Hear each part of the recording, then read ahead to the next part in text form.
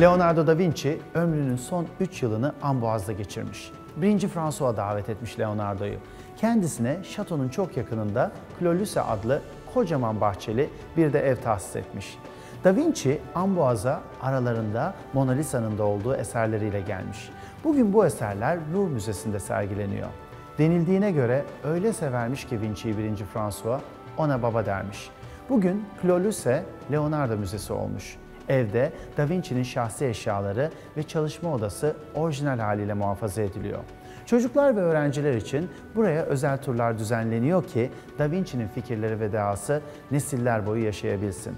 Evin bahçesinde ise Leonardo'nun pek çok eserinin maketi var. Tavsiyem özellikle minyatür Haliç Köprüsü'nü görmeniz. İkinci Bayezid hükümdarlığı sırasında Haliç'e bir köprü yaptırmak ister.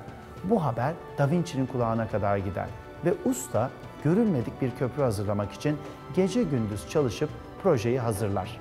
İkinci Bayezid'e bir mektup gönderir.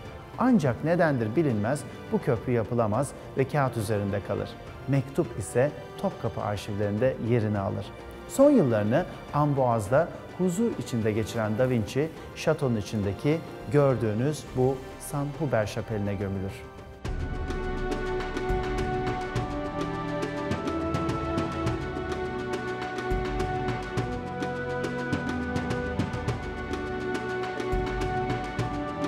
Dominic Angra'nın Da Vinci'nin ölümünü resmettiği bu ayrıcalıklı eser 2017 Nisan'ından beri şatoda sergileniyor.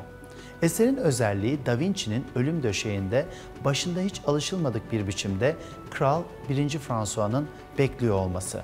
Bu da 1. François'nın Vinci'yi diğer sanatçılardan ne kadar farklı bir konumda tuttuğunu gösteriyor.